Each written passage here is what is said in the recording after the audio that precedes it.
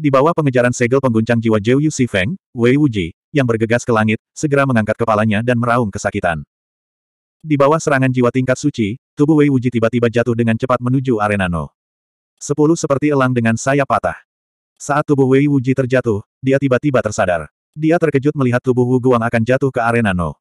Sepuluh. Pada saat ini, api berwarna merah darah keluar dari tubuh Si Feng dan menelan tubuh Wu Guang. Wei Wuji tidak perlu berpikir untuk mengetahui bahwa Wu Guang telah langsung dikremasi dengan api berwarna merah darah. Sejak Wu Guang meninggal, dia mungkin tidak bisa merasakan sakitnya terbakar api. Tapi jika dia dilahap oleh api berwarna merah darah. Ketika Wei Wuji melihat bahwa mata Si Feng tertuju padanya, ditambah dengan kekuatan suram yang ditransmisikan oleh api merah darah, Wei Wuji benar-benar merasakan hawa dingin yang membuat seluruh tubuhnya menjadi dingin. Segel penggetar jiwa Yu menggoyang. Menatap Wei Wuji, serangan jiwa Si Feng, segel pengguncang jiwa Yu mengguncang Wei Wuji lagi. Ah, serangan jiwa tak berbentuk itu tidak bisa dilacak. Sama seperti sebelumnya, Wei Wuji hanya merasakan jiwanya terpukul dengan keras. Dia meraung lagi. Adapun Wei Wuji yang jiwanya telah terluka lagi, tubuhnya langsung terjatuh lagi. Api berwarna merah darah keluar dari tubuh Si Feng. Pada saat ini, seperti binatang buas, mereka tiba-tiba berguling ke udara. Wei Wuji yang terjatuh langsung dilalap api berwarna merah darah, sama seperti tubuh Wu Guang. Kemudian, api merah darah yang berkobar di arena No. Sepuluh bergulir kembali ke arah sosok hitam di tengah arena. Segera, api berwarna merah darah semuanya tersedot kembali oleh tubuh Si Feng dan menghilang sepenuhnya. Dengan lenyapnya api berwarna merah darah, Wu Guang dan Wei Wuji benar-benar lenyap, bahkan tidak meninggalkan jejak mereka di dunia ini. Lingkungan arena yang awalnya sunyi langsung meledak menjadi gelombang kegaduhan yang mengejutkan. Mati. Wu Guang dari Kekaisaran Dongfeng dan Wei Wuji, pemuda jenius yang tinggal di Yuncheng, keduanya tewas. Jika aku mengingatnya dengan benar, setelah kematian Bai Jun Suang, Wei Wuji dan Wu Guang seharusnya menjadi yang terkuat, kecuali pemuda berjubah hitam. Sekarang tiga orang terkuat di arena telah dibunuh olehnya, tampaknya sang juara dari arena No. Sepuluh tidak lain adalah dia. Itu belum tentu benar. Mungkin ada beberapa ahli tersembunyi yang tiada taranya. Sama seperti Wu Guang, dia terlihat biasa saja kemarin. Siapa yang tahu kalau dia sebenarnya adalah Wu Guang dari Kekaisaran Dongfeng? Ahli yang bertarung dengan Si Ho tiga tahun lalu. Setelah membunuh Zhou Yu, dia melirik ke tubuh kerumunan dan berkata dengan acuh tak acuh, apakah ada orang lain yang ingin datang? Jika Anda ingin naik, lakukan dengan cepat. Jangan buang waktu Ben Sao. Si Feng mengamati kerumunan di bawah. Pandangannya menyapu beberapa ahli bela diri yang maju di arena No. Sepuluh sehari sebelumnya. Namun, ketika tatapan mereka bertemu dengan Si Feng, mereka buru-buru mengalihkan pandangan mereka. Setelah pemuda ini membunuh Wu Guang dan Wei Wuji, tidak ada yang berani naik ke arena. Siapa pun yang naik sekarang adalah orang bodoh. Jika mereka ingin naik ke arena, mereka harus membiarkan orang lain pergi dulu. Jika mereka melukai pemuda ini dan naik lagi nanti, mereka mungkin bisa memanfaatkan situasi ini. Setelah beberapa lama, masih belum ada yang berani naik ke arena. Orang-orang ini tidak berani naik, tetapi mereka juga tidak mau menyerah. Setelah Si Feng membunuh Wu Guang dan Wei Wuji, pertempuran di arena No. 10 terus berlanjut. Kali ini wasit di arena No.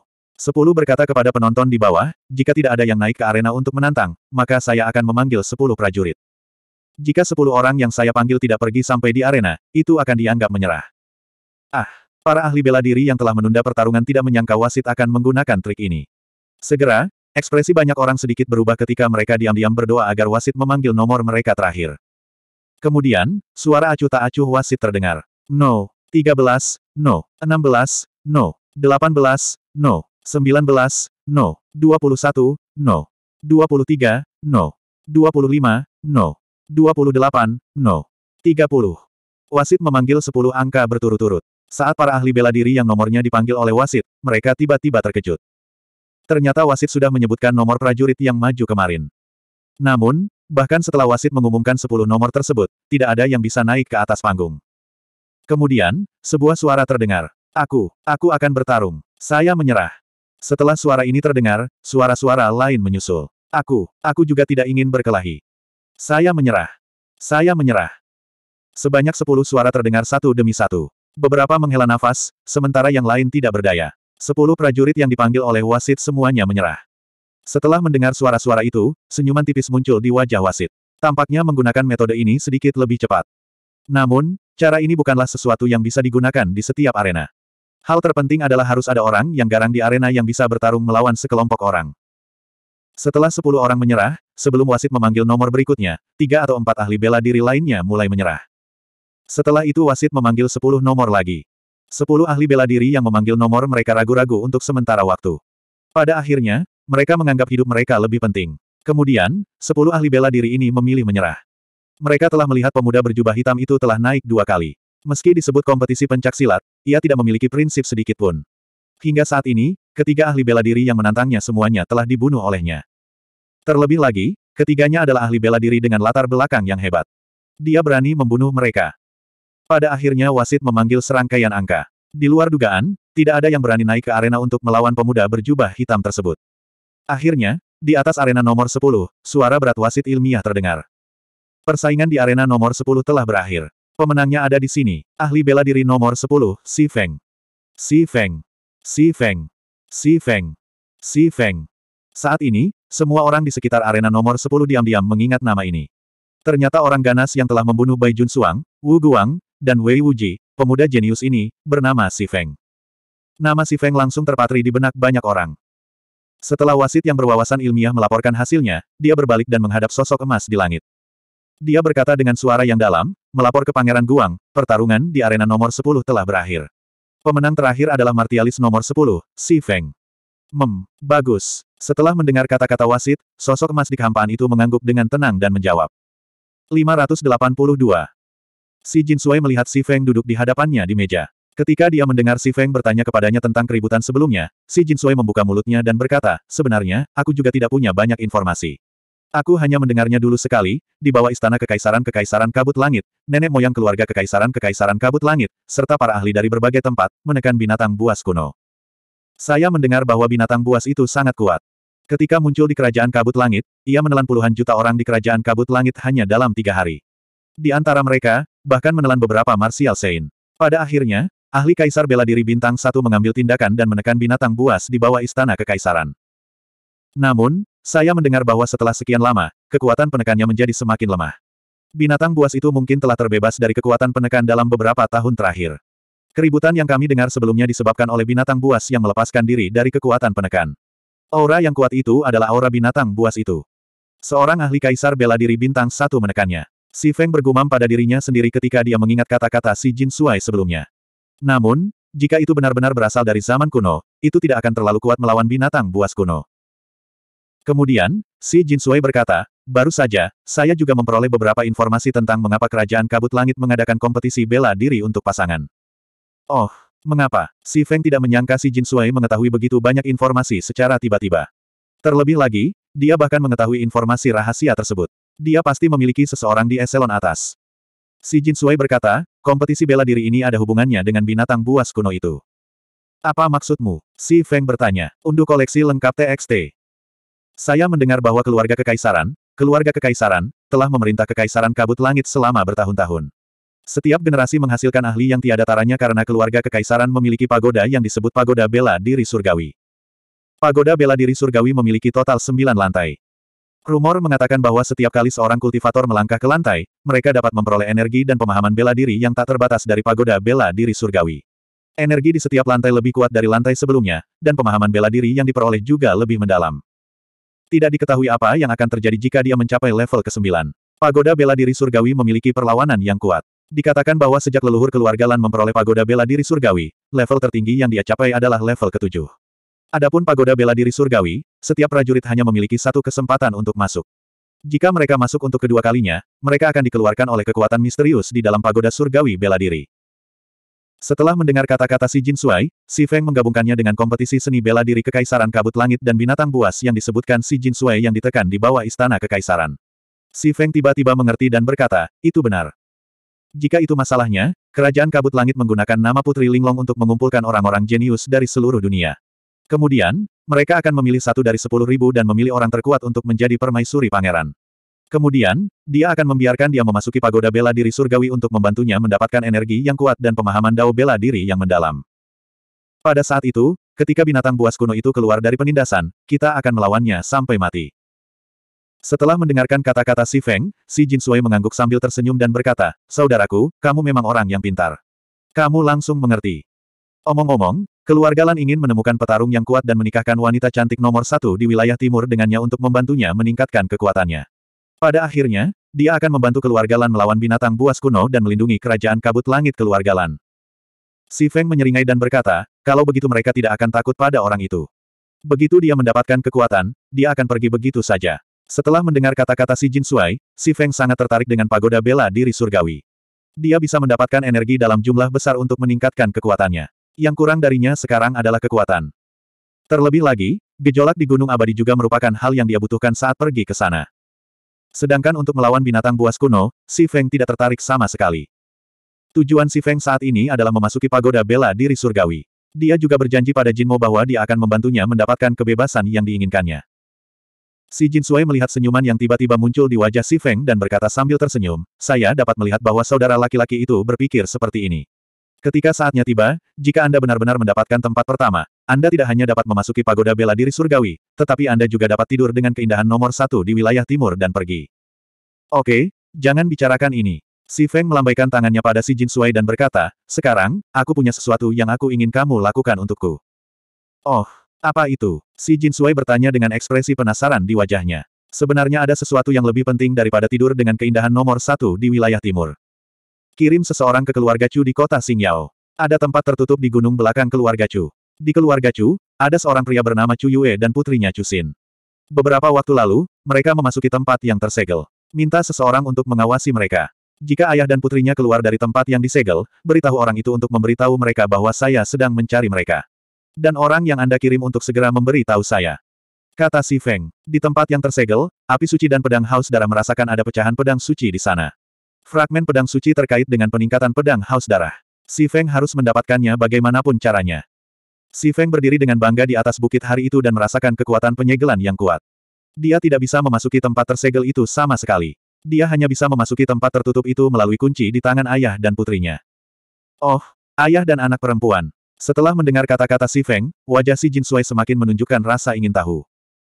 Ayah dan anak perempuan. Faktanya, perhatian si Jin Sui sebagian besar terfokus pada kata, anak perempuan. Lalu dia bertanya pada si Feng, gadis ini pasti gadis yang sangat cantik. Adik si, jangan khawatir. Saya akan mengirim seseorang ke kota Xing Yao segera. Si Feng langsung mengabaikan kata-kata si Jin Sui yang sedikit bermakna. Dia mengangguk pada si Jin Sui dan berkata, oke. Okay. Lalu dia berkata, katakan pada orang itu untuk memberitahuku segera setelah dia melihat Chu Yue atau Chu Xin. Jangan khawatirkan aku, kata si Jin Sui. Setelah mengatakan itu, si Jin Sui berdiri dan berjalan keluar ruangan, melambaikan kipas kertas emas dengan lembut. Dia pergi untuk mengatur masalah si Feng. Pagoda bela diri surgawi. Setelah si Jin Sui pergi, si Feng memikirkan pagoda bela diri surgawi yang baru saja disebutkan si Jin Sui. Saya harus mendapat tempat pertama. Si Feng bergumam pada dirinya sendiri dengan ekspresi tegas di wajahnya. Pada saat ini, api suci di tubuh Si Feng tiba-tiba berkata kepada Si Feng, jika itu benar-benar pagoda yang aku pikirkan, nak, kamu akan sangat beruntung jika bisa memasukinya. Mendengar suara api suci yang tiba-tiba, Si Feng sedikit terkejut dan bertanya, pagoda itu. Tahukah Anda tentang pagoda bela diri surgawi? 583.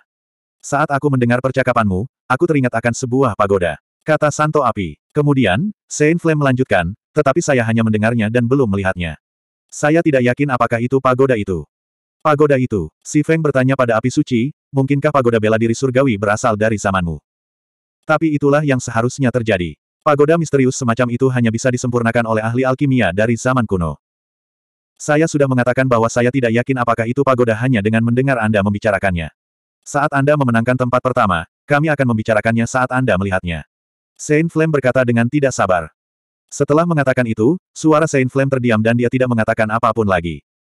Tidak lama kemudian, pintu kamar terbuka dan si Jin Sui masuk sambil tersenyum. Dia berkata kepada Si Feng, selesai. Terima kasih. Si Feng mengangguk.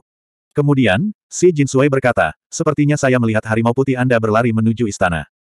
Menuju istana. Mendengar kata-kata si Jin Sui, si Feng bergumam. Lalu, si Feng berkata, biarkan saja. Si Feng tahu bahwa putih kecil pasti merasakan kehadiran Jin Mo dan pergi mencarinya sejak dia berlari menuju istana. Namun, istana dijaga ketat dan terdapat banyak aura yang kuat. Waiti, seorang raja tingkat ketujuh, harus mengandalkan dirinya sendiri untuk melihat Jin Mo. Kota Kekaisaran Kabut Langit, Istana. Di kamar tidur indah yang dipenuhi keharuman elegan, sesosok tubuh cantik berkulit putih duduk di dekat jendela. Wajah cantik itu menatap langit yang dipenuhi awan putih dengan linglung. Rambut panjangnya menutupi bahunya, berkibar tertiup angin. Angin sepoi-sepoi bertiup menerpa tubuhnya, dan ketika bertiup di kejauhan, masih membawa keharuman anggun yang membuat orang merasa sangat nyaman. Di luar istana, lebih dari sepuluh ribu orang berjuang sekuat tenaga untuknya. Banyak dari mereka yang tinggal di Sky Mist Imperial City selamanya karena ingin mendapatkannya. Dan di sinilah dia, sunyi, seolah dia terisolasi dari dunia. Mendesah. Melihat ke langit, dia tiba-tiba menundukkan kepalanya dan mendesah pelan. Awalnya, dia menyalahkan ayahnya dan merasa bahwa dia harus memilih kebahagiaannya sendiri. Tapi dia dibawa kembali ke istana oleh Markis Xiao. Kali ini, dia bertemu ayahnya. Ayahnya mengungkapkan ketidakberdayaannya dan situasi keluarga Lan saat ini. Baru pada saat itulah dia memahami ayahnya. Mungkin, ini adalah takdirku. Terlahir di keluarga Lan, takdir menjadi putri kekaisaran kabut langit. Jinmo berkata sedih dengan kepala menunduk. Aku sangat berharap menjadi putri rakyat jelata, bisa memilih kebahagiaanku sendiri, bisa mengandalkan perasaanku sendiri untuk bisa bersama dengan orang yang kucintai. Saat Jinmo mengucapkan kata, kekasih, pipinya tiba-tiba memerah. Dia tidak tahu kenapa, tapi ketika dia mengucapkan kata-kata ini, sosok hitam yang mengesankan tiba-tiba muncul di benaknya. Sosok hitam yang membuatnya merasa nyaman setiap kali dia memandangnya. Dan si putih. Dalam benak Jinmo, bayangan harimau putih besar yang penurut dan menggemaskan yang diingatnya langsung muncul ke permukaan. Mengaum. Pada saat ini, Jinmo samar-samar mendengar auman rendah harimau dari depan. Ketika dia mendengar suara gemuruh, Jinmo menggelengkan kepalanya untuk mengejek diri sendiri dan bergumam pada dirinya sendiri, sepertinya aku sedang memikirkan Waiti. Aku berhalusinasi. Mengaum. Segera setelah itu, Jinmo mendengar dua geraman pelan dari harimau itu. Kedua geraman ini jauh lebih jelas dari geraman sebelumnya. Hem, setelah mendengar dua geraman yang jelas ini, wajah Jinmo langsung dipenuhi keheranan. Lalu, dia perlahan mengangkat kepalanya. Ah, Tiba-tiba, Jinmo terkejut.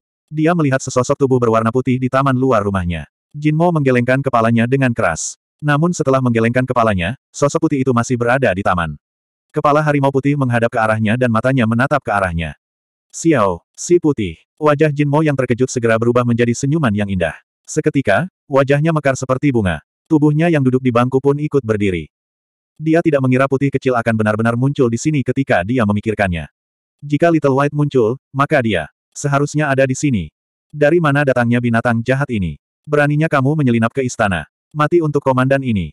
Prajurit, dengarkan perintahku. Bunuh binatang jahat ini. Iya. Membunuh. Membunuh. Membunuh. Membunuh. Seketika, teriakan dan raungan terdengar dari taman di depan Jinmo. Mengaum, mengaum, mengaum. Kemudian, auman harimau yang marah terdengar. Setelah itu, suara Jinmo terdengar, tidak, tidak, kamu tidak bisa menyakiti Waiti. Waiti adalah temanku. Kalian semua, kalian semua, mundur. Begitu suara Jinmo turun, semua serangan terhenti. Ah! Ah! Putri, ini. Ya, Putri. Mengaum. Putih, kemarilah. Jangan takut. Selama aku di sini, tidak ada yang akan menyakitimu. Jadilah baik, Waiti. Baik kecil, sepertinya berat badanmu turun beberapa hari ini. Apakah kamu menderita? Mengaum. Kota Kekaisaran Kabut Surgawi, rumah dagang sejuta harta karun. Ketika si Feng terbangun dari kultivasinya sekali lagi, hari baru telah tiba. Langit belum sepenuhnya cerah, namun masih ada secercah cahaya samar. Bang, bang, bang. Tidak lama kemudian, seseorang mengetuk pintu kamar si Feng. Si Feng menebak bahwa si Jin Sui lah yang mengetuk pintunya. Masuk, kata si Feng. Saat suara si Feng memudar, pintu perlahan dibuka dan sesosok emas masuk ke dalam ruangan. Pada saat ini, si Jin Sui memandang si Feng dengan wajah penuh senyuman dan berkata, Adik si, hari ini, kamu akan memulai perjalanan baru dan pertempuran baru. Pagi-pagi sekali, saya meminta dapur menyiapkan sarapan mewah untuk menyehatkan tubuh Anda. Setelah itu, si Jin Sui bertepuk tangan kanan dan kirinya, membuat dua tepukan. Saat si Jin Sui bertepuk tangan, beberapa sosok cantik masuk ke kamar si Feng. Yang masuk ke ruangan itu semuanya adalah pelayan wanita yang bisa dibilang di atas rata-rata dalam hal penampilan. Di tangan setiap pelayan wanita ada sepiring makanan. Gelombang wewangian keluar dari piring-piring ini, menyebabkan nafsu makan seseorang melonjak saat menciumnya. Kemudian, si Jin Sui memandang si Feng dan bertanya sambil tersenyum, apakah kamu puas? Menanggapi pertanyaan si Jin Sui, si Feng berkata dengan tenang, mari kita bicarakan hal itu setelah makan. Kamu pasti akan puas. Ayo, cicipi. Terutama sebotol anggur ini, aku butuh banyak usaha. Saat dia berbicara, si Jin Sui mengeluarkan kendi yang terbuat dari batu giok putih dari cincin penyimpanannya. 584. Ketika si Jin Sui mengeluarkan guci giok putih dari cincin penyimpanannya, aroma familiar memenuhi udara. Saat dia menciumnya, senyum tipis muncul di wajah si Feng. Anggur murbei berdarah. Anggur murbei berdarah dibuat dari buah murbei berdarah, buah spiritual tingkat ilahi kelas 8. Ketika si Feng pertama kali bertemu si Jin Sui, si Jin Sui mentraktirnya dengan anggur murbei berdarah. Ketika mereka berada di kapal dagang, si Feng jelas merasakan kekuatan fisiknya meningkat setelah meminum beberapa cangkir anggur murbei berdarah. Si Jin Sui menunjuk ke arah guci giok putih di tangannya dan berkata kepada si Feng, anggur murbei berdarah ini adalah sesuatu yang hanya dapat ditemukan secara kebetulan. Aku tidak menyangka bahwa aku akan cukup beruntung untuk menemukan Guci kedua. Kamu, beruntung. Saat dia berbicara, si Jinsui berjalan perlahan ke meja mahoni di ruangan itu. Meja itu dipenuhi dengan makanan lesat. Dia meletakkan guci giok putih di atas meja. Para pelayan cantik yang memasuki ruangan pergi satu demi satu setelah meletakkan piring mereka. Hanya dua pelayan tercantik yang tersisa, satu di depan dan satu lagi di belakang, berdiri di dekat meja. Tampaknya si Jinsui telah meninggalkan mereka untuk melayani mereka berdua. Si Jinsui duduk di meja. Pada saat ini, si Feng juga datang ke meja mahoni dan duduk di hadapan si Jinsui. Si Jinsui menunjuk ke makanan lezat di atas meja dan berkata kepada si Feng, meja makanan ini, terutama guci anggur murbei berdarah ini, disiapkan khusus untukmu. Pertama, ini untuk mengungkapkan rasa terima kasihku padamu karena telah menyelamatkan hidupku di arena kemarin lusa. Kedua, untuk menyehatkan tubuh Anda. Hanya ketika Anda kenyang Anda akan memiliki kekuatan untuk bertarung. Saat si Jinsui berbicara, kedua pelayan itu telah mengisi cangkir anggur mereka dengan anggur berwarna merah darah. Kemudian, si Jinsui mengambil cangkir anggurnya dan berkata kepada si Feng, Aku, saudaramu, mendoakan kemenanganmu terlebih dahulu. Tidurlah dengan wanita tercantik di wilayah timur dan masuki pagoda bela diri surgawi yang bahkan dirindukan semua seniman bela diri. Dalam mimpi mereka, selamat. Setelah mendengar kata-kata si Jinsui, si Feng tersenyum tipis dan mengambil cangkirnya. Dia mendentingkan cangkirnya dengan cangkir si Jinsui dan berkata, Cir. Setelah mendentingkan cangkir mereka, keduanya meminum anggur berwarna merah darah dalam satu tegukan. Bagus. Anggur yang enak. Setelah menghabiskan anggur di dalam cangkir, si Jin Sui mengeluh, seperti yang diharapkan dari anggur murbei berdarah. Tidak hanya dapat menguatkan tubuh, tetapi rasa anggurnya juga sangat lembut. Setelah berbagi cangkir ini dengan Anda, saya merasa enggan untuk berpisah dengannya. Haha. Sekarang sudah terlambat. Si Feng berkata sambil tersenyum tipis setelah mendengar kata-kata si Jin Sui. Kemudian, dia diam-diam mengoperasikan teknik pemurnian tubuh Yu seni hitam Yu dan mulai menyerap khasiat obat dari buah murbei darah dengan tubuh fisiknya. Setelah gelas terisi penuh, si Feng mengangkat gelasnya dan berkata kepada si Jin Sui sambil tersenyum tipis, ayo, secangkir lagi. Brengsek. Setelah itu, mereka berdua mendentingkan cangkir mereka sekali lagi dan menenggak secangkir Bloody Mulberry Wine lagi. Mencicipi makanan lezat dan meminum anggur suci kelas 8 adalah salah satu kesenangan terbesar dalam hidup. Segera, teko anggur dikosongkan oleh mereka berdua. Setelah meminum setengah panci Bloody Mulberry Wine, khasiat obat dari Bloody Mulberry Wine sepenuhnya diserap dan dicerna oleh tubuh fisiknya. Pada saat ini, si Feng merasa seluruh tubuhnya dipenuhi kekuatan. Terlepas dari apakah ada orang di ruangan itu, dia berdiri dan meninju udara. Bang! Ledakan sonik terdengar di dalam ruangan. Setelah merasakan kekuatan pukulan ini dan mencerna khasiat obat dari setengah panci anggur murbei berdarah, kekuatan fisiknya telah meningkat dari alam Grandmaster bela diri Samsung ke alam Grandmaster bela diri bintang 5. Buah spiritual ilahi kelas 8 memang luar biasa. Setelah itu, Si Feng melihat ke langit di luar dan berkata kepada si Jin Sui, sudah hampir waktunya. Ayo pergi ke arena. Ayo pergi. Si Jin Sui terkekeh pada si Feng dan berdiri. Setelah itu, keduanya terbang keluar dari jendela kayu satu demi satu dan menuju arena. Di dalam kamar, hanya tersisa dua pelayan cantik yang saling memandang. Pelayan cantik yang berdiri di belakang si Jin Sui menghela nafas kecewa. Dia mengira tuan muda akan melakukan sesuatu padanya setelah minum anggur di kamar. Jika dia benar-benar telah melakukan sesuatu padanya, dan dia cukup beruntung bisa mengandung anaknya, maka dia akan menjadi wanita pertama yang melahirkan anaknya. Saat itu, bagaimana dia bisa tetap menjadi pelayan seperti sekarang? Mereka yang meremehkannya, membencinya, dan menindasnya, dia bisa membuat mereka menyesalinya. Dia bahkan bisa membuat mereka membayar atas perkataan dan perbuatan mereka. Pelayan cantik itu mulai membayangkan dalam benaknya bahwa dia sedang berada di dunia imajinasinya. Tanpa disadari, senyuman dingin muncul di wajahnya, namun dia tidak menyadarinya. Si Feng dan si Jin Sui bola-balik di langit di atas Sky Mist Imperial City. Segera, arena kota kekaisaran kabut langit muncul di bawah mereka. Keduanya langsung bergerak dan mendarat di arena nomor 10. Saat ini, keduanya sekaligus melihat sosok orangnya berdiri dengan gagah di arena nomor 10, diam-diam berdiri di sana. Itu Wang Chong. Si Jin Sui melihat sosok orangnya di bawah dan berseru kepada Si Feng di sampingnya. Melihat sosok orangnya itu, Si Feng mengangguk. Tampaknya Wang Chong sedang berdiri di sini menunggunya bertarung. Sepertinya dia telah melenyapkan semua penggarap di arena nomor 10 dengan cepat kemarin. Wang Chong pasti menggunakan metode yang sama. Dia menunggu Ben Sao pagi-pagi sekali. Si Feng berkata dengan dingin sambil melihat Wang Chong di bawah. Saudaraku, apakah kamu percaya diri? Jika kamu membutuhkannya, aku bisa meminjamkanmu Golden Armor. Melihat Wang Chong yang sedang menunggu di arena nomor 10, si Jin Sui tampak mengkhawatirkan Si Feng dan berkata kepada Si Feng. Tidak perlu melakukan itu, kata Si Feng. Lalu, tubuhnya turun dengan cepat. Dengan, ledakan, sosok hitam Si Feng mendarat di arena nomor 10, berhadapan dengan Wang Chong. Lihat, dia di sini. Dia benar-benar di sini. Si Feng. Hari ini, kita akan menyaksikan pertarungan hebat. Orang ini telah melenyapkan semua penggarap di arena nomor 10 kemarin. Setelah itu, Wang Chong juga menantang seluruh kultivator di arena nomor 34 dengan aura dominannya. Setelah itu, ia juga menyingkirkan seluruh penggarap di arena nomor 34. Siapa sangka Wang Chong akan berdiri di arena nomor 10 pagi-pagi sekali, menunggunya menantangnya. Wang Chong adalah orang kuat yang telah memasuki alam marsial sage. Bai Jun Suang, Wu Guang, dan Wei Wuji belum memasuki alam marsial sage dan bukan tandingannya. Tampaknya si Feng yang arogan telah bertemu lawan nyata hari ini. Aku ingin tahu siapa yang akan berdiri di arena ini pada akhirnya. Aku sangat menantikannya. Arena nomor 10 dipenuhi oleh para penggarap yang sedang menyaksikan pertarungan. Karena kedatangan si Feng, kerumunan menjadi gempar. 585. Kesunyian. Di arena nomor 10, teriakan rendah wasit yang tampak terpelajar segera terdengar, suaranya bergema di seluruh arena. Usai wasit mengucapkan kata, tenang, penonton langsung terdiam. Banyak tatapan langsung memandang ke arah langit di atas arena nomor 10, menunggu pengumuman wasit.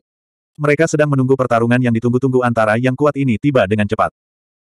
Juri yang berdiri dengan gagah di angkasa memandang ke arah arena dan berkata, Arena 10, orang yang berdiri di hadapanmu adalah Arena 34. Dia telah menantangmu. Apakah kamu menerimanya?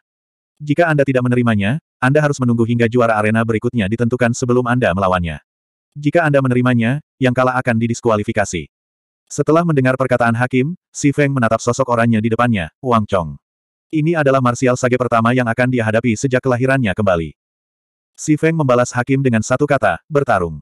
Kata, bertarung, adalah jawaban atas segalanya. Setelah kata, bertarung, diucapkan, sebelum hakim sempat membuat pengumuman lagi, Wang Chong, yang berbaju oranye, mulai bergerak. Jelas sekali Wang Chong tidak sabar untuk membunuh orang ini. Wang Chong membentuk segel berbeda dengan tangannya. Kemudian, dia meraung, harimau naga keluar dari jurang neraka. Saat dia meraung, Wang Chong membentuk telapak tangan dengan tangan kanannya dan kepalan tangan kirinya. Dia kemudian menekan ke depan. Mengaum. Mengaum. Seketika, auman harimau dan jeritan naga terdengar bersamaan. Di sebelah kanan Wang Chong, sosok ilusi naga biru besar muncul, sementara di sebelah kirinya, sosok ilusi harimau putih muncul. Baik naga maupun harimau berlari menuju Si Feng pada saat bersamaan. Harimau naga keluar dari jurang neraka. Ini sebenarnya adalah harimau naga yang keluar dari jurang neraka. Serangan pertama Wang Chong adalah Dragon Tiger Out of the Abyss, salah satu teknik paling kuat dari Sekte Dragon Tiger. Sepertinya Wang Chong ingin membunuh orang ini dalam satu pukulan. Begitu hantu naga dan harimau muncul, gelombang seru langsung terdengar dari bawah panggung. Wang Chong telah menunggu orang ini sejak pagi. Saat dia menyerang, itu sudah merupakan serangan yang sangat kuat. Mungkinkah Wang Chong punya dendam dengan orang ini? Ekspresi Si Feng tidak berubah saat dia melihat dua hantu besar yang terbang ke arahnya. Cahaya pedang menyala di tangan kirinya saat pedang bulan purnama muncul di tangannya. Lampu merah darah menyala di tangan kanannya saat pedang haus darah muncul. Si Feng memimpin dan melemparkan pedang bulan purnama ke depan dengan tangan kirinya. Setelah pedang bulan purnama dilempar, ia berputar cepat dan mengeluarkan api putih ke abu-abuan. Itu tampak seperti roda angin dan api. Kemudian, api putih ke abu-abuan tiba-tiba meletus, membentuk badai api putih ke abu-abuan yang dahsyat. Itu memancarkan panas yang menyengat dan kekuatan yang dahsyat dan misterius. Kemudian, ia menyapu ke arah hantu naga dan harimau yang menerkam di depannya. Mengaum. Mengaum. Hantu naga harimau raksasa dengan cepat bertabrakan dengan badai api yang dahsyat, dan suara gemuruh bergema di seluruh langit dan bumi.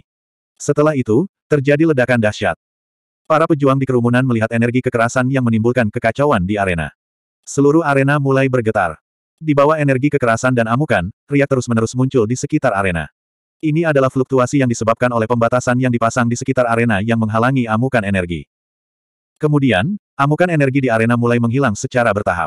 Setelah itu, badai api yang dahsyat dan dua hantu naga dan harimau yang besar menghilang. Kedua serangan mereka menghilang pada saat bersamaan. Artinya, keduanya sempat bertarung imbang di babak sebelumnya.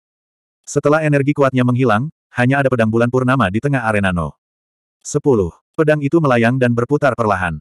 Kemudian, pedang bulan purnama sepertinya tertarik oleh sesuatu, dan segera berputar secara diagonal ke atas. Di arah di mana pedang bulan purnama terbang, ada sosok hitam. Si Feng melompat ke udara dengan pedang haus darah berwarna merah darah di tangannya. Segera, dia berteriak dengan suara rendah, Yu. Mencacah. Setelah teriakan Si Feng, pedang ki putih besar muncul di atas kepala Wang Chong. Lalu, tiba-tiba ia menebas Wang Chong di bawah. Saat Yu meluncurkan potongannya, Si Feng mengenakan topeng hantu misterius dan aneh di wajahnya. Kemudian, serangan jiwa, segel pengguncang jiwa Yu, tiba-tiba mengguncang Wang Chong di bawah. Ekspresi Wang Chong tetap sedingin es saat dia melihat pedang ki putih yang turun dari atas. Dia mengepalkan tangan kanannya dan hendak menghantamkannya ke arah pedang ki yang sangat besar. Namun, pada saat itu, Wang Chong tiba-tiba merasa kepalanya seperti dipukul dengan palu yang berat dengan kejam. Ah! Wajah Wang Chong langsung menunjukkan ekspresi kesakitan yang mengerikan. Dengan ledakan, pedang ki putih besar menebas tubuh Wang Chong dan menelan seluruh tubuhnya. Ini, apakah ini sudah berakhir? Melihat tubuh Wang Chong ditelan, kerumunan di bawah sekali lagi berseru tak percaya. Mungkinkah Wang Chong dikalahkan begitu saja? Tidak mungkin. Itu adalah Wang Chong, elit realem martial sage. Bagaimana Wang Chong bisa dikalahkan begitu saja? Tidak mungkin. Tentu saja itu mustahil. Setelah jiwanya diserang, dengan kekuatan Wang Chong sebagai martial sage, dia dengan cepat pulih dari linglungnya. Saat tubuhnya hendak ditelan oleh pedang ki putih, raungan Wang Chong tiba-tiba terdengar dari arena nomor 10. Ah! Setelah suara gemuruh, penonton melihat riak muncul di udara di atas arena nomor 10. Kemudian, penonton melihat retakan muncul pada aura pedang putih besar yang menyelimuti Wang Chong seperti kaca. Kemudian, aura pedang putih besar langsung hancur dan dengan cepat menghilang di depan mata orang banyak. Sosok oranye sekali lagi muncul di depan orang banyak. Rambut panjangnya berkibar tertiup angin dan wajahnya yang dingin tampak tertutup embun beku. Kemudian, Wang Chong perlahan mengangkat kepalanya dan melihat sosok hitam yang melayang di udara. Kemudian, tubuh Wang Chong melesat seperti bola meriam dan terbang menuju sosok hitam itu. Wang Chong dengan cepat tiba di depan Si Feng. Pada saat itu, raungan rendah Wang Chong kembali terdengar di arena No. 10. Langit dan Bumi. Tinju Tuan. Tinju Tuan Langit dan Bumi juga dikenal sebagai One Hit Kill. Si Feng pernah melihat keterampilan bela diri ini sebelumnya. Itu digunakan oleh saudara laki-laki Wang Chong, tuan muda kedua dari Sekte Longhu, Wang Bei. Namun, pukulan Wang Bei tidak sebanding dengan pukulan Wang Chong dalam hal kekuatan, tenaga, atau keindahan pukulannya. Sepertinya yang satu adalah langit dan yang lainnya adalah bumi. Tinju Tuan Langit dan Bumi tampaknya merupakan pukulan sederhana, tetapi mengandung kekuatan yang dapat menghancurkan segalanya. 586 Menghadapi pukulan kuat Wang Chong, tinju penguasa langit dan bumi, wajah Si Feng langsung berubah serius.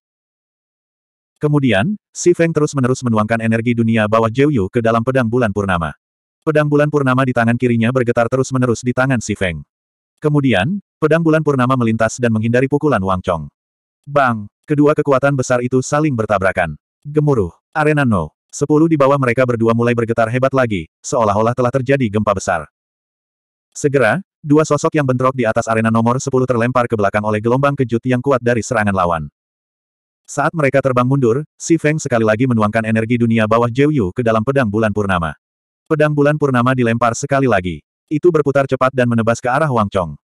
Saat Wang Chong terbang mundur, ekspresi terkejut muncul di wajahnya yang dingin. Dia tidak menyangka bahwa tinju Tuan Langit dan Bumi miliknya, salah satu keterampilan sempurna dari Sekte Longhu, akan dihalangi oleh makhluk jahat ini. Selanjutnya, dia dikirim terbang mundur. Pada saat itu, Wang Chong melihat pedang bulan purnama yang digunakan makhluk jahat untuk memblokir serangannya kini berputar cepat ke arahnya. Harimau naga bangkit dari jurang neraka. Tangan kanan Wang Chong membentuk telapak tangan dan tangan kirinya mengepal. Dia tiba-tiba menekan ke depan, menggunakan Dragon Tiger Rises from the Abyss lagi. Mengaum. Mengaum. Antara langit dan bumi, auman naga dan harimau yang dahsyat bergema sekali lagi. Hantu macan putih dan naga azure yang sangat besar muncul lagi. Kemudian, tangan Wang Chong tiba-tiba terangkat dan dia berteriak, kombinasi naga kembar. Hantu macan putih dan naga azure menyatu. Naga itu melonjak dan harimau itu meraung ketika mereka menyerang dengan ganas ke arah pedang bulan purnama yang terbang ke arah mereka. Kombinasi naga kembar. Itu kombinasi naga kembar. Rumor mengatakan bahwa Wang Chong memahami keterampilan bela diri ini setelah tiga tahun mengasingkan diri. Kekuatannya bahkan lebih kuat dari Dragon Tiger Rises from the Abyss. Saya tidak menyangka Wang Chong memahami keterampilan bela diri ini. Wang Chong memang berbakat surgawi. Pemimpin sekte dari sekte Longhu, Wang Zuo, mampu melahirkan bakat surgawi seperti Wang Chong. Seperti ayah seperti anak. Saat kombinasi naga kembar digunakan, diskusi di bawah arena yang sudah riuh menjadi semakin riuh.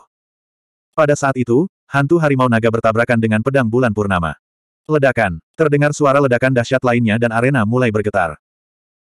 Jika bukan karena material dan struktur khusus arena, serta batasan kuat yang diterapkan padanya, arena itu akan dihancurkan oleh kekuatan yang kejam, kuat, dan ganas.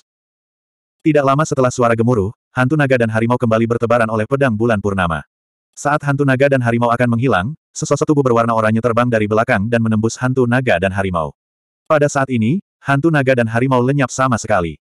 Sosok Wang Chong tiba di tempat pedang bulan purnama dan hantu harimau naga bertabrakan. Ledakan, ledakan, ledakan, ledakan. Wang Chong kembali melayangkan pukulan keras ke pedang bulan purnama. Ledakan, ledakan. Tinju Wang Chong mengenai pedang bulan purnama dan membanting pedang itu ke tanah. Kemudian, sosok Wang Chong tiba-tiba bergerak dan mendarat di tanah. Dia menginjak pedang bulan purnama yang hendak melarikan diri. Ledakan, ledakan, ledakan, ledakan. Pedang bulan purnama bergetar di bawah kaki Wang Chong. Ia berjuang untuk melepaskan diri dari kaki Wang Chong, tetapi kaki Wang Chong tampaknya sangat kuat. Pedang bulan purnama berjuang untuk waktu yang lama tetapi tidak dapat melepaskan diri. Kemudian, Wang Chong perlahan mengangkat wajah dinginnya dan melihat sosok hitam di langit. Dia berkata dengan dingin, alasan kenapa kamu bisa bertarung denganku adalah karena senjata mendalam ini. Sekarang, kekuatan senjata mendalam ini telah menghilang dan ditekan olehku. Mari kita lihat apa lagi yang bisa kamu lakukan untuk bertarung denganku. Huff, apakah menurut Anda Anda bisa menang seperti ini? Seringai menghina muncul di wajah Si Feng saat dia menghadapi kata-kata dingin Wang Chong dan Wang Chong yang sedingin es. Segera, topeng hantu sekali lagi muncul di wajah Si Feng. Segel penggetar jiwa Yu, kocok. Si Feng berteriak dengan dingin. Serangan jiwa, segel pengguncang jiwa Yu, dilemparkan lagi ke arah Wang Chong. Ah, Wang Chong, yang belum mengembangkan kekuatan jiwa, tidak dapat menemukan jejak serangan jiwa yang tidak terlihat dan misterius. Kemudian, jiwa Wang Chong diserang. Tubuhnya bergetar hebat dan dia mengeluarkan raungan yang menyakitkan. Namun, dengan budidaya alam petapa bela diri bintang satu Wang Chong, serangan jiwanya pulih dalam waktu singkat. Namun, dalam waktu singkat itu, pedang bulan purnama telah terlepas dari kakinya.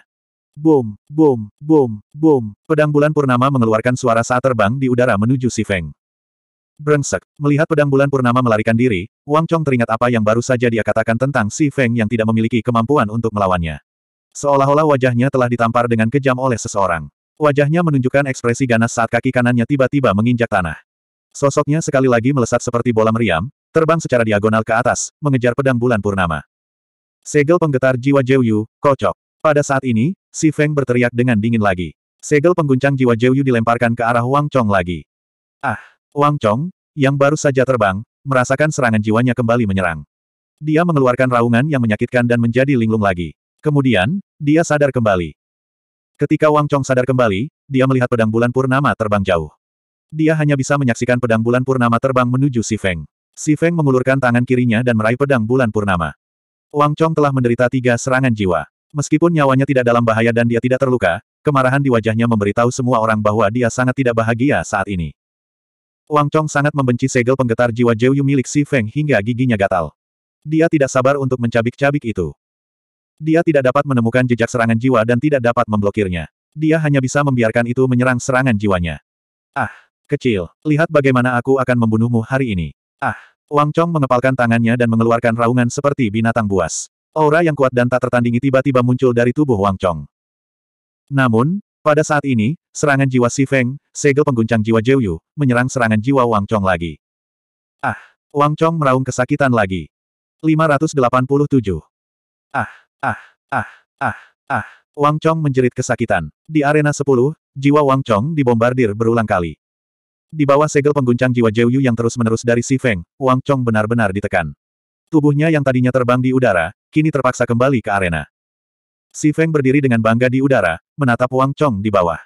Dia berkata dengan dingin, Ben Sao sudah cukup bermain denganmu. Sekarang, Ben Sao akan mengirimmu menemui saudaramu. Setelah Si Feng selesai berbicara, dia melemparkan pedang bulan purnama, yang telah diisi dengan kekuatan neter Yu, ke bawah. Pedang bulan purnama, yang membawa kekuatan misterius dan dahsyat, sekali lagi berputar dan menebas ke bawah ke arah Wang Chong di bawah. Jiwa Wang Chong pulih dari rasa sakitnya. Pada saat ini, Wang Chong tiba-tiba melihat pedang bulan purnama terbang ke arahnya. Dia segera mengepalkan tangannya dan berteriak, tinju naga yang bangkit. Saat seruan pelan Wang Chong terdengar, gambaran ilusi kepala naga muncul di tinjunya.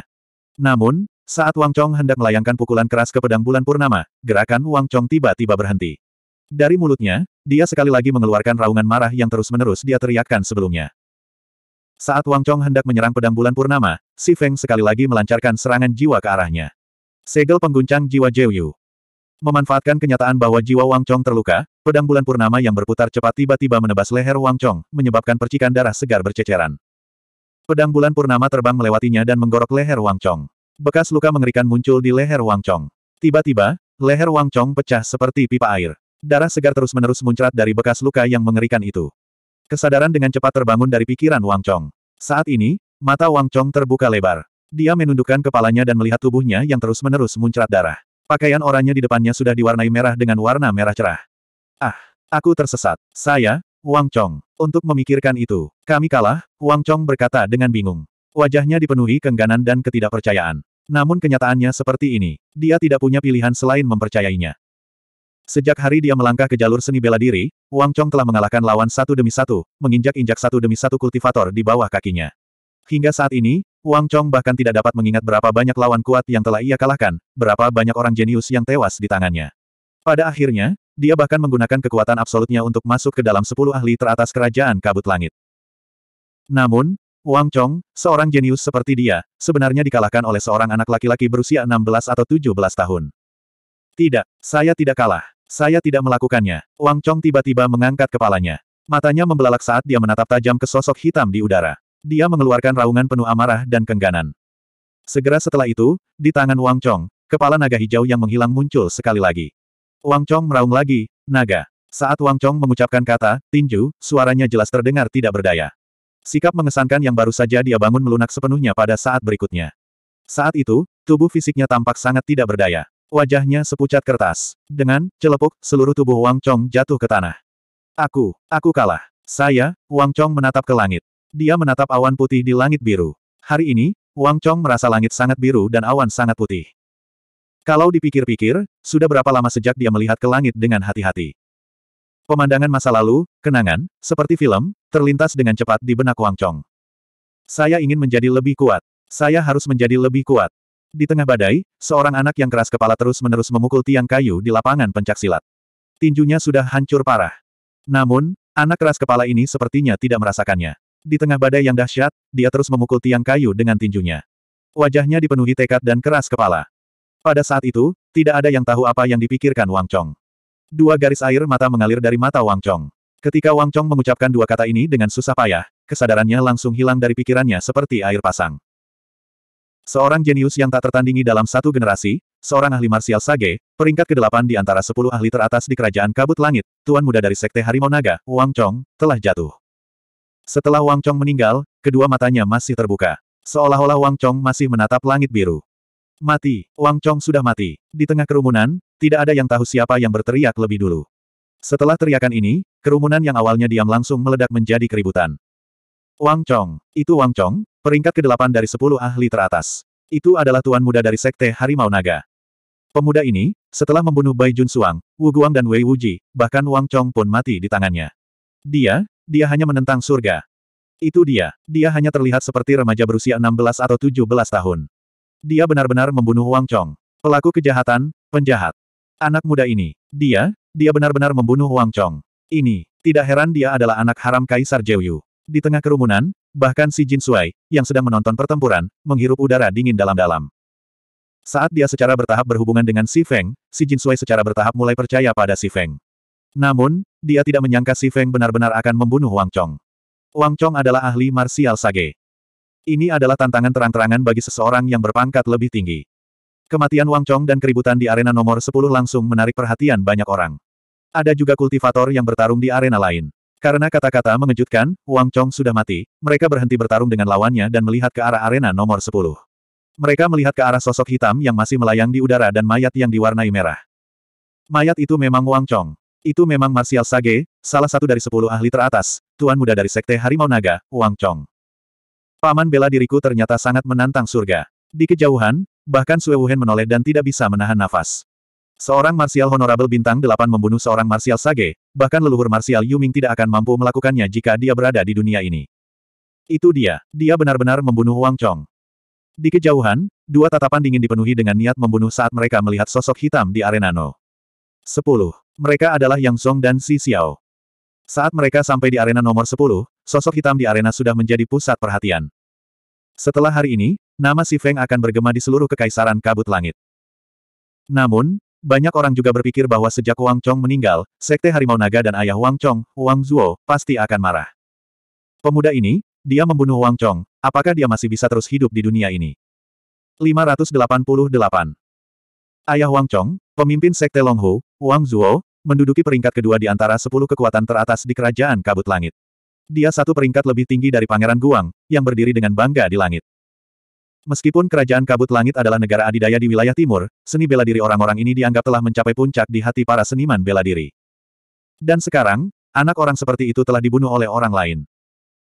Di Kerajaan Kabut Langit, di hamparan pegunungan, terdapat bangunan kuno.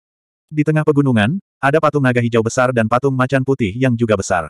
Bentangan pegunungan ini adalah tempat Sekte Longhu berada.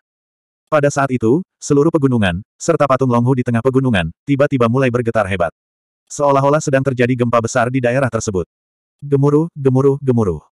Di Sekte Longhu, prajurit berjubah ketat segera terbang keluar dari bangunan kuno. Semuanya melihat ke arah tengah pegunungan. Itu adalah sumber kekuatan dahsyat yang menyebabkan seluruh pegunungan berguncang. Pemimpin Sekte. Menguasai. Di kota Kekaisaran Kabut Langit, di tahap 10, suara wasit bergema, tahap 10, pemenang pertarungan antara juara nomor 10 dan juara nomor 34.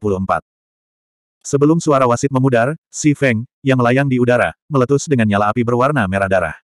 Seperti gelombang, ia menyapu mayat Wang Chong. Api berwarna merah darah langsung menelan tubuh Wang Chong dan kemudian menyapu kembali ke arah Si Feng. Ketika darah berwarna merah darah kembali ke tubuh Si Feng, tubuh Wang Chong telah menghilang, sama seperti Bai Jun Suang, Wu Guang dan Wei Wuji. Bahkan tidak ada bekas tubuhnya yang tersisa. Segera setelah itu, di bawah tatapan orang banyak, sosok hitam di langit tiba-tiba bersinar dengan cahaya putih. Ini, cahaya kemajuan seni bela diri. Setelah melahap energi kematian, energi jiwa, dan darah petapa bela diri bintang satu Wang Chong, Si Feng telah berhasil maju dari alam kehormatan bela diri bintang 8 ke alam kehormatan bela diri bintang 9. Dia sudah maju. Dia benar-benar maju begitu saja. Dia sudah sangat kuat sejak awal dan memiliki kekuatan untuk membunuh Wang Chong. Sekarang dia sudah maju, dia akan menjadi lebih kuat lagi. Ya Tuhan, monster, dia hanyalah monster. Jika tidak ada orang lain yang mampu menekannya, maka Putri Linglong kita akan menjadi miliknya dalam Juice for Groom ini. Ah, putriku Linglong. Aku hanya tinggal satu bintang lagi untuk menjadi Martial Saint. Meski hanya satu bintang, jumlah energi yang dibutuhkan sangat besar. Si Feng bergumam ketika dia merasakan perpaduan dantiannya dengan api suci. Jika seseorang ingin maju ke Martial Sage, dia harus menjadi Martial Sage bintang 2. Seseorang perlu mengonsumsi ki kematian dan darah petapa bela diri bintang 2.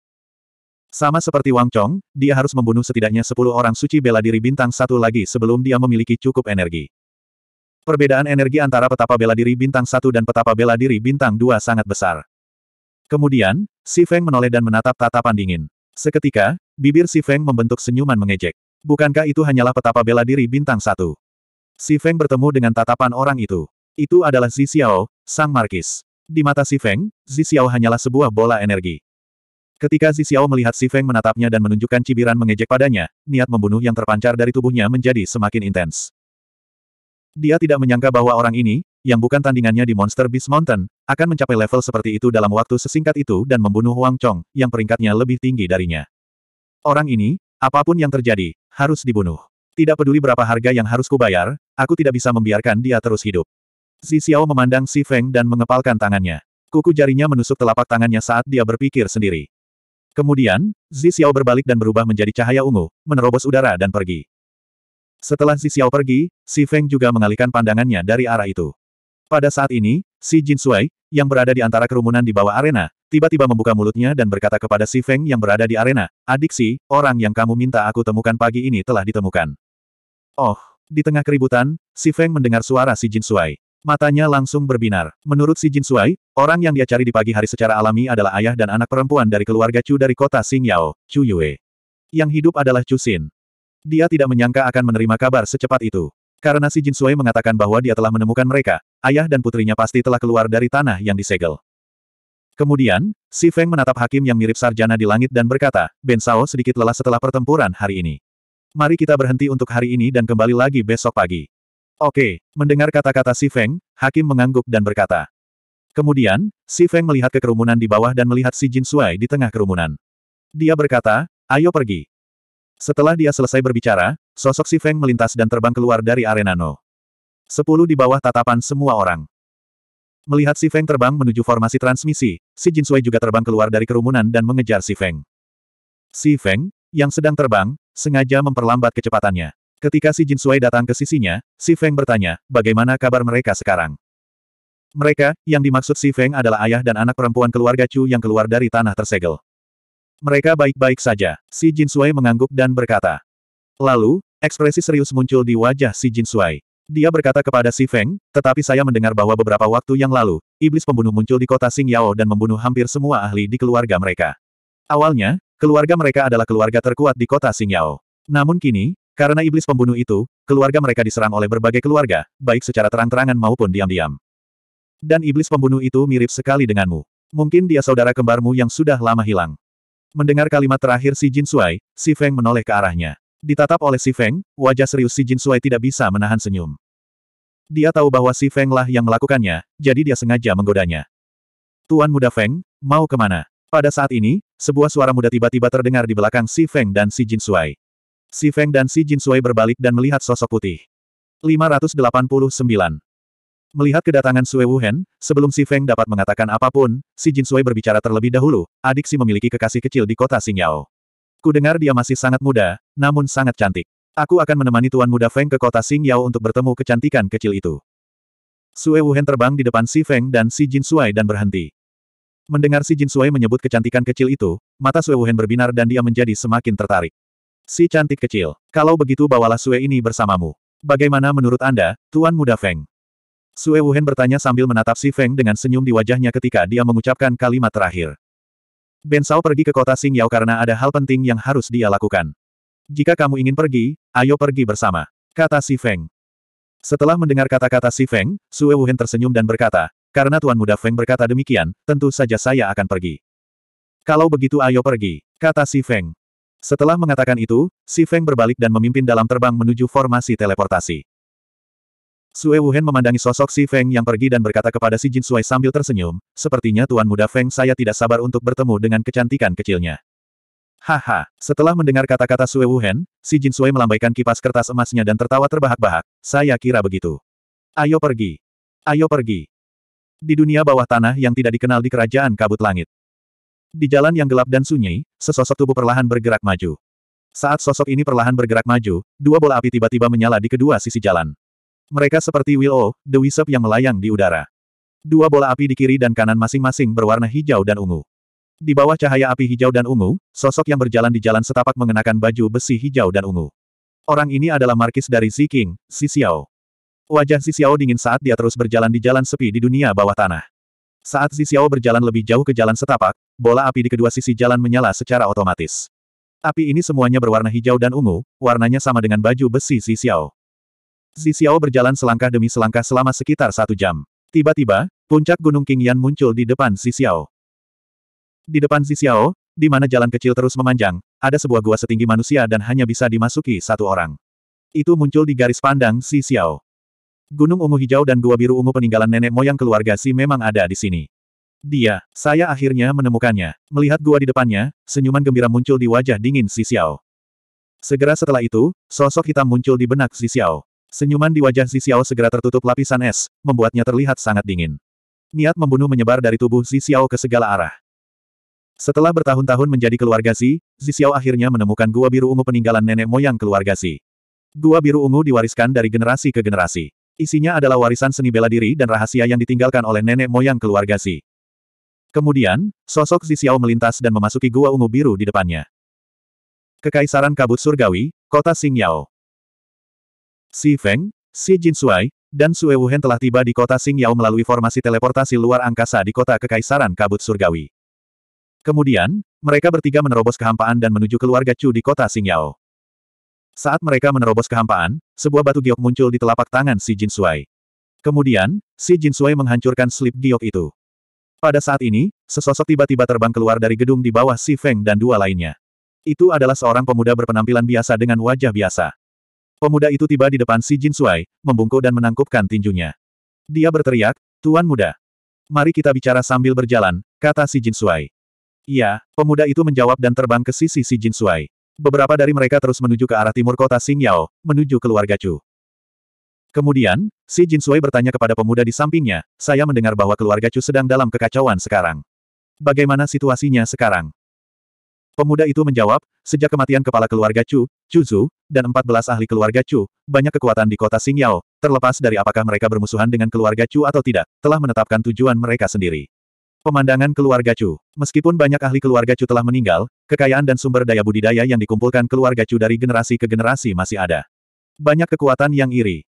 Setelah mendengar kata-kata pemuda itu, si Jin Sui bertanya lagi, apakah orang yang saya minta untuk Anda temukan masih berada di keluarga Chu? Iya, Benar, pemuda itu mengangguk dan berkata, setelah Chu Yue muncul kembali di keluarga Chu, dia telah menjadi patriark keluarga Chu yang baru. Sepanjang jalan, Si Feng dan yang lainnya telah tiba di langit di atas keluarga Chu. Namun, pada saat ini, gelombang teriakan perang terdengar dari keluarga Chu di bawah. Bahkan ada teriakan tragis yang datang dari keluarga Chu. Oh, apakah ada pertempuran yang sedang terjadi? Si Feng bertanya sambil menatap keluarga Chu di bawah. Tampaknya keluarga Chu memang berada dalam keadaan gelisah setelah kunjungan terakhir Si Feng ke kota Xingyao. Bahkan bangunannya kemungkinan besar runtuh karena pertempuran tersebut. Ayo, ayo turun, Si Feng berkata dengan acuh tak acuh.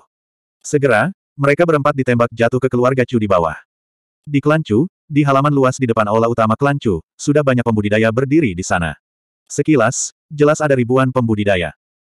Banyak dari para penggarap ini memiliki senyum mengejek di wajah mereka saat mereka melihat ke depan pada orang-orang keluarga Chu di aula utama keluarga Chu. Dibandingkan dengan orang-orang di halaman, anggota keluarga Chu memandang orang-orang di luar dengan amarah, amarah, dan kedinginan. Di antara orang-orang ini, banyak dari mereka yang mencoba menjilat klan Chu, dan beberapa dari mereka bahkan menerima banyak manfaat dari klan Chu. Sekarang, dengan memanfaatkan kemerosotan keluarga Chu, orang-orang ini mencoba memanfaatkan situasi tersebut. Huang Hongyi, kerja bagus. Kamu sangat baik. Di aula utama keluarga Chu, seorang lelaki tua dengan marah menunjuk seorang pria parubaya berusia empat puluhan di depan kerumunan dan berteriak dengan marah. Huang Hongyi, patriar keluarga Huang, kekuatan terkuat ketiga di kota Xingyao. Huang Hongyi dikabarkan mampu menjadi patriar keluarga Chu karena mendapat bantuan dari patriar keluarga Chu, Chu Su.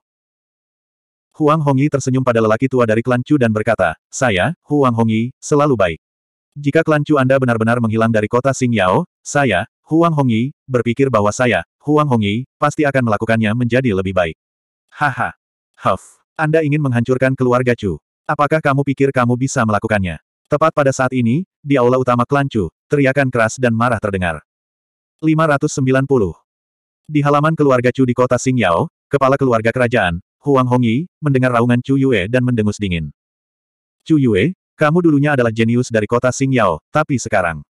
Huff, siapa sangka setelah bertahun-tahun, jenius dari kota Xingyao, Chu Yue, masih akan menjadi yang mulia bela diri bintang lima.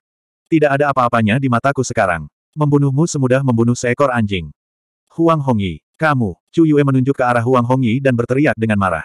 Namun, setelah mengucapkan kata, kamu, Chu Yue tidak tahu bagaimana melanjutkannya. Dia dulunya seorang jenius dan Huang Hongyi bukanlah tandingannya ketika dia masih muda. Saat itu, dia sama sekali tidak peduli dengan Huang Hongyi. Namun, setelah terjebak di tanah terlarang kematian selama bertahun-tahun, dia berubah menjadi makhluk hitam yang bukan manusia atau hantu. Kultivasi Cuyue telah tertahan di alam kehormatan bela diri bintang 5. Sekarang setelah dia kembali ke kota Xingyao, Huang Hongyi, yang dulu dia benci, telah melampaui dia dalam hal kultivasi dan sekarang menjadi alam kehormatan bela diri bintang 6. Perbedaan antara satu bintang di alam kehormatan bela diri seperti langit dan bumi. Jika Huang Hongyi benar-benar menyerangnya sekarang, Chu Yue tidak akan bisa memblokir serangannya. Huang Hongyi, jangan terlalu sombong. Kakakku Si Feng telah mengirim seseorang untuk memberitahumu bahwa dia akan datang ke kota Xingyao dalam beberapa hari. Pada saat itu, klan Huang Anda dan Anda semua pasti akan menyesali perbuatan Anda terhadap klan Chu saya selama periode waktu ini. Tepat pada saat ini, seorang wanita muda cantik, murni, dan cantik berteriak dari belakang Chu Yue. Orang yang berteriak adalah kecantikan nomor satu kota Xingyao, Chu Xin. Nama Si Feng sudah menyebar ke seluruh kota Xingyao. Semua orang di kota Xingyao tahu bahwa pemuda yang telah membunuh keluarga Chu dan memusnahkan keluarga Tai bernama Si Feng. Setelah Chu Xin meneriakkan nama Si Feng, wajah banyak seniman bela diri di halaman berubah. Ketika Si Feng memusnahkan keluarga Tai, Chu Zu pergi ke keluarga Tai. Pemuda itu memang bertanya kepada Chu Zu apakah ada ayah dan anak perempuan bernama Chu Yue dan Chu Xin di keluarga Chu. Malam itu, banyak orang di kota Xingyao mendengarnya. Huang Hongyi, yang berdiri di depan orang banyak, mengubah ekspresinya. Kemudian, Huang Hongyi berteriak kepada orang banyak. Semuanya, tidak ada jalan untuk kembali. Jika Chu Yue dan putrinya benar-benar mengenal Si Feng, maka kita tidak boleh membiarkan keluarga Chu terus ada. Hari ini, yang harus dia lakukan hanyalah membunuh setiap anggota klan Chu dan memusnahkan mereka sepenuhnya. Bahkan jika Si Feng datang ke kota Xingyao kita, dia tidak akan tahu siapa yang membunuh ayah dan anak perempuan klan Chu. Iya, itu benar. Saya setuju dengan kepala klan-klan. Iya, ayo lakukan apa yang dikatakan klan keluarga kita. Jika kita keluarga Chu Yue, Chu dan Chu akan melakukannya, Chu Yue dan Xin akan menjadi keluarga. Kami milik Huang. Keluarga Chu Yue, keluarga Yue keluarga-keluarga Chu, Tian kita.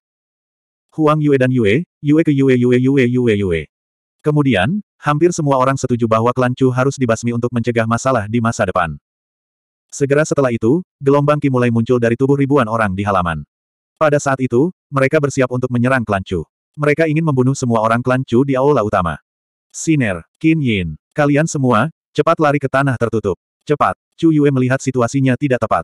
Para serigala sudah bersiap untuk menyerang. Dia dengan cepat menoleh dan berteriak kepada Chu Xin di belakangnya, serta seorang wanita cantik yang berdiri di samping Chu Xin.